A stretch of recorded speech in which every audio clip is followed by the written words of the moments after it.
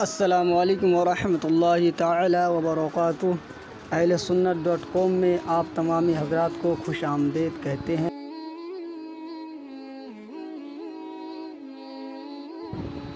क्या फरमाते वलमाए कराम इस मसले के बारे में कि बकरा, भैंस और बैल वगैरह की ज़बान और कान का खाना दुरुस्त है या नहीं? तो आइए इस वीडियो में बने रहें, मुकम्मल जवाब जानने की कोशिश करते हैं।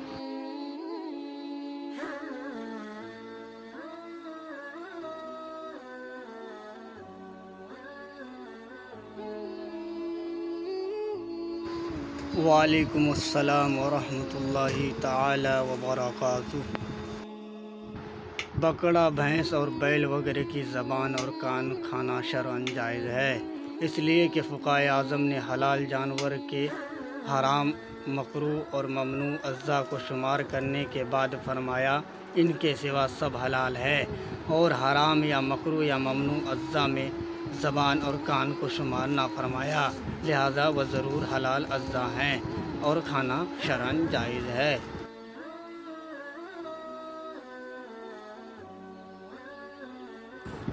और नाजिर कराम, इस तरह के मसाइल को जानने के लिए आप कमेंट में इस्लामिक मसाइल मुस्लिम मसाइल के ताल्लुक़ से सवाल कर सकते हैं। अगर आपको कोई मसला पेश आए तो आप कमेंट कर सकते हैं।